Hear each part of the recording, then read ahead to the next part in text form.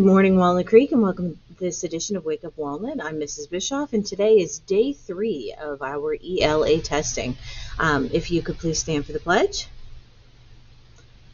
I pledge allegiance to the flag of the United States of America and to the republic for which it stands, one nation, under God, indivisible, with liberty and justice for all.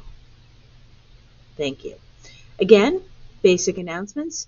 Make sure that Chromebook is charged every day. We're, we're done with ELA, so we don't need, we won't be testing again until Monday for math.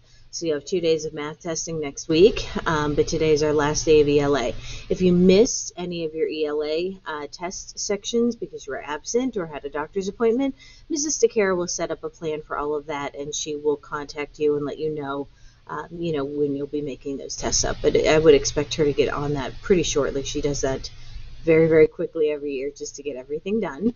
Um, in addition to that, if you haven't reached out to Mr. Coggerty yet for speech and debate, what are you waiting for? Mr. Coggerty is a great guy. Speech and debate's a great team. Uh, get involved. Send him an email. Look it up on the, the school internet uh, if you can't spell Coggerty. And um, get involved. You know, uh, uh, speech and debate is an excellent activity to be involved in. And finally, uh, we need a special shout out today to uh, Miss Miller, Mrs. Fuchs, and Mrs. Douglas in the office. Um, today is National Professional Assistance Day, so if you see any of these fine, lovely ladies who, you know, help make the school run as efficiently as possible each and every day, um, you know, please uh, give them a smile and uh, thank you. All right, that's it for me, Walnut Creek. Have a great day.